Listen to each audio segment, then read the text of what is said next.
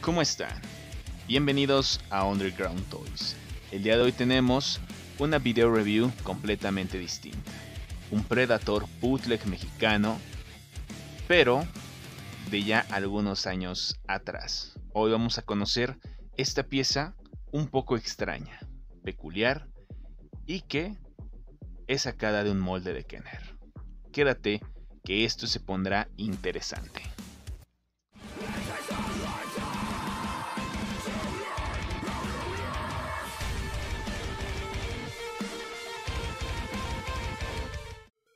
El primer accesorio a mostrar es la biomáscara de nuestro Predator, Lava Planet.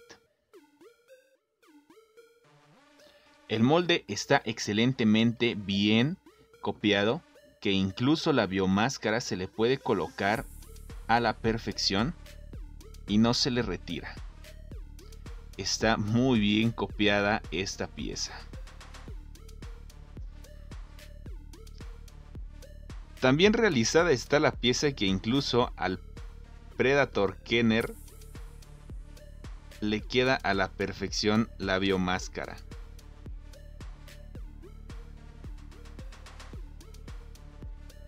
Y el segundo es la hombrera, en donde va el Plasma Caster. La hombrera se puede colocar a la perfección en su lugar, al igual como lo hace la pieza original. Detalle extraordinario, tiene el mismo mecanismo para poderlo sujetar. Recuerdo perfectamente que en mi infancia tuve uno de estos Predators y recuerdo que tenía bastantes accesorios. Fue una fortuna poderlo encontrar por lo menos con la hombrera y la biomáscara. Si en algún momento tú te encuentras uno de estos Predators, no dudes en llevártelo a casa. Es una pieza excelente es una pieza increíble en el estado en el cual te lo encuentres. Créeme, no te vas a arrepentir de tener esta belleza del bootleg mexicano. Con exactitud no sé desde qué año se reprodujo este molde. Sin embargo, en la actualidad ya no se ha vuelto a ver. Es una fortuna encontrarte este tipo de piezas, de Predators, y más con algunos de los accesorios. Como te puedes dar cuenta, el plástico es de una calidad extremadamente baja. Me atrevo a decir que es del tipo de plástico que ya nos han mencionado con anterioridad, que es desechable, y el cual se ocupa para hacer este tipo de juguetes. Lo increíble es el color. Ese color un café extraordinario. Claramente estamos ante una reproducción del Predator Lava Planet. Exactamente la misma cabeza, el mismo cuerpo a diferencia de la posición de los brazos. Te puedes percatar que el Ava Planet tiene una posición distinta de los brazos a la que tiene el bootleg, teniendo una posición un poco más regular, más estándar. Y podemos ver parte del molde que no fue creado con exactitud para poder realizar la manguera que el original de Kenner tiene. El molde fue hecho perfectamente. Podemos alcanzar a ver algunos de los bordes y del esculpido que tenía la figura original. Es un trabajo completamente impresionante. La cabeza está unida a lo que es todo el torso. Y en la parte trasera sigue conservando partes originales del molde. Algo que en realidad me fascinó bastante de este depredador fue la pintura plateada, la cual está bastante brillosa. Desconozco de qué pintura hayan utilizado en ese entonces, pero es una pintura muy brillosa que se ve genial. Sin embargo, sabemos que este tipo de pinturas pues se menciona mucho sobre el riesgo, sobre la intoxicación, dudo que hayan utilizado un tipo de pintura tóxica para esos bootlegs. Sin embargo, no dudemos que si sea de una calidad extremadamente baja, pero para los años que lleva este Predator, que aproximadamente este molde, yo lo recuerdo haberlo visto entre el 99 e inicio de los 2000, creo que sigue conservando bastante parte de la pintura. Y así es, el trabajo del artesano fue excelente, o más bien del que clonó la pieza, porque recordemos que este literalmente sí es un bootleg, una pieza copiada a raíz de alguna otra. Bootleg clásico de por ahí de los años 80, 90 e incluso parte de los años 2000 que todavía se seguían reproduciendo este tipo de piezas. Veamos qué nos ofrece de articulación el bootleg tradicional de mercado. Como te puedes dar cuenta en la parte de la cabeza, pues tenemos una unión, nula articulación en la cabeza.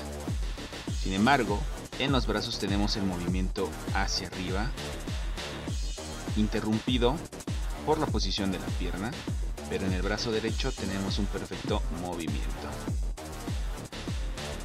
Al igual que la patada hacia adelante, que es extremadamente bien, y mismo caso con la patada hacia atrás. Pues no hay mucha diferencia del original al bootleg. Las articulaciones son prácticamente similares. Y bueno, pues creo que no está para nada mal lo que nos ofrece este Predator. Bueno, comencemos la comparación de escala. Aquí tenemos a nuestro Predator Bootleg con Predators originales de la marca Kenner. Se puede ver la diferencia de tamaños. Aquí lo tenemos con otro Predator Bootleg Sote Mercado que comparte el mismo concepto. Por supuesto, no podemos dejar a un lado piezas bootlegs más actuales con otra calidad mucho más mejorada. Comparación con figuras 6 pulgadas y 7 de la línea de McFarlane Toys DC Multiverse. Camaradas, ha llegado el momento de finalizar nuestra video review. En esta ocasión revisamos este Predator Bootleg mexicano, una calca exacta del Predator Lava Planet. Esta pieza es completamente increíble, me gusta bastante los accesorios y que se puedan colocar. A veces uno de los problemas de este tipo de bootlegs es que los accesorios solamente son como de regalo, ni siquiera los puedes ocupar. Pero curiosamente con esta pieza, pues son completamente compatibles e incluso la biomáscara pues también es compatible con el original de Kenner. Una posible solución, si es que no encuentras esta pieza con su biomáscara, ya sabes que le puede quedar la del bootleg. Una figura que me trae nostalgia, yo recuerdo esta pieza por ahí de los años 2000, más o menos finales de los 90, inicio de los 2000. Y este es el clásico bootleg ochentero, al estilo del bootleg ochentero que a la fecha todavía se siguen reproduciendo, se siguen haciendo este tipo de bootlegs, ya no exactamente de esta pieza, pero sí existen algunas otras. Entonces, queda totalmente recomendada esta pieza para tu colección si en algún momento la llegas a encontrar. Es una pieza que hasta cierto punto sí llega a ser buscada para todos aquellos nostálgicos noventeros, ochenteros, o bueno, a los que todavía nos tocó inicios de los 2000, pues también nos tocaron estas piezas. Entonces, es una figura que yo te recomiendo no te vas a arrepentir de tener en tu colección. Y por favor, te pido que vayas a seguir a Dino Freak si es que te gusta Predator. Sus videos cuentan con bastante información y te va a encantar su canal. Síguelo y dile que vas de mi parte. Y también te hago la gran invitación a su grupo de Facebook, Depredador y Alien Fans Latinoamérica, en donde compartimos distintas fotos y materiales. Y también visita su blog, Predator Universe, donde hay bastantes datos de figuras, las historias de distintos Predators, entre mucho más. Y no olvides seguir a Masters Maniac México, quien también comparte el gusto del bootleg mexicano de Alien y Depredador.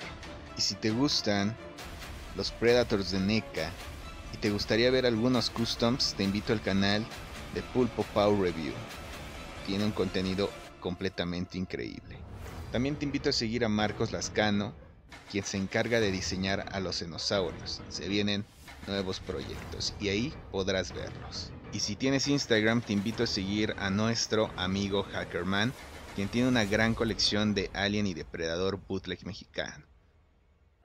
Y bueno, sin nada más que mencionar, pues solamente te hago el recordatorio que hay una lista de reproducción de Alien vs Predator en el canal, que estará apareciendo en la pantalla final, donde están todos los videos que hemos realizado hasta el momento sobre estos personajes, figuras bootlegs, figuras Kenner y NECA. Entonces te están esperando todos esos videos para que vayas y sigas disfrutando del contenido de Underground Toys y también no olvides que las recomendaciones también ahí estarán apareciendo.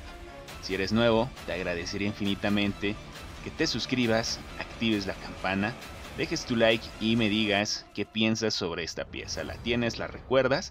Quiero saber tu opinión en la caja de comentarios. Te estaré leyendo.